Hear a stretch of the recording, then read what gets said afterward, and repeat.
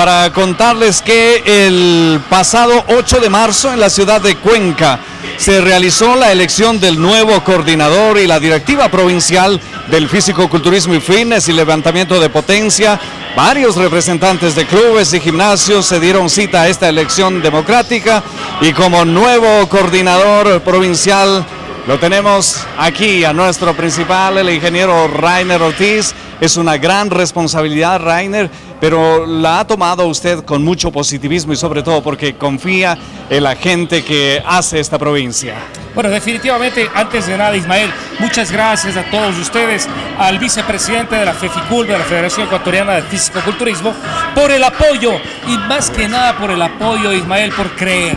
por la confianza a cada uno de ustedes muchísimas gracias. Recuerdo allá en el año 2001, cuando, éramos cuando era presidente del Comité Técnico de Físico-Culturismo de la SUAI, de igual manera sacamos adelante en el apoyo y buscando el apoyo de cada uno y de todos los atletas, obviamente, sin desconocer de dónde vienen, es decir, de los gimnasios. Hay que agradecer a todos los deportistas, a los dueños de gimnasios que se dieron cita y que fue un tiempo de,